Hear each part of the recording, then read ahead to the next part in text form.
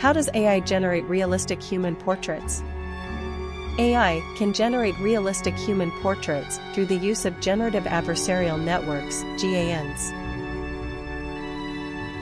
GANs are a type of neural network architecture that consists of two networks that are in opposition to each other, a generator and a discriminator.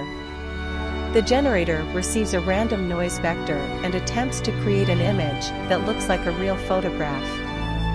The discriminator receives these images and tries to determine if they are real photographs or fake images generated by the generator. Through training these two networks, the generator can gradually learn to create more realistic images, and the discriminator can become more accurate at identifying real versus generated images. GANs can be applied to many different datasets, including human portraits. During the training process, GANs learn to create images that are similar to the real photographs in the training set. Once the generator is trained, it can use a random noise vector to generate new human portraits.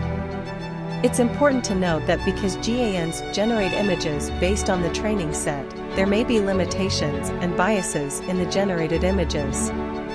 Additionally, the generator's output may also include some unrealistic or strange images. Therefore, when using the generator to create human portraits, it's important to carefully consider the quality and applicability of the images.